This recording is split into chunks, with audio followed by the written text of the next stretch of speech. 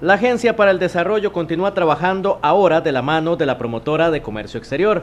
La idea es colaborar con al menos 10 empresas de la zona, propiciar el desarrollo de cada una de estas en varios aspectos y colaborarles en los puntos más débiles para llevarlas a un nivel superior. Estamos trabajando, este año escogimos 10 empresas, eh, bueno, escogió Procomer más bien, para ver si las podíamos impulsar durante este año para ponerlas a punto de exportación, pensando en los otros proyectos que estamos manejando, como el aeropuerto y de mano de la zona económica.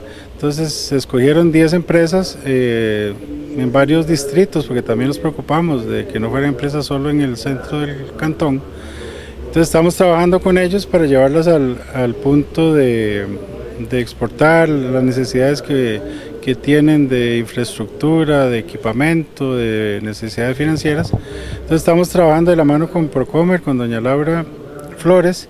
Al mismo tiempo están barajando dos proyectos con Procomer que esperan poner en marcha para beneficio de nuestra zona. Todo esto como parte del gran potencial que busca desarrollar la zona económica especial. Eh, ese punto principalmente, además estamos tratando de involucrarnos en dos proyectos que, que están manejando eh, Procomer a nivel nacional, pero con doña Laura que, trabaja muy bien en el sector. Estamos trabajando ahí dos proyectitos nuevos que en su momento se les contarán, pero pienso que todo enfocado en la generación de empleo de calidad, don Johan para buscar el desarrollo del cantón en todos sus distritos. Asuntos de financiamiento, gestión y acompañamiento son aspectos en los que busca colaborar la zona económica. Es tratando de, buscarles, casi todo el problema es financiamiento, es también gestión para la preparación de los, de los proyectos que tienen. Entonces estamos tratando de acompañarlos con el equipo técnico que tiene la Agencia para el Desarrollo y nos restan en estos días, eh, más o menos en 15 días, vamos a ir a visitar a cada una de las empresas para ver qué están haciendo, si ocupan algún tema de eh, donde se le puede ayudar a costos como la energía.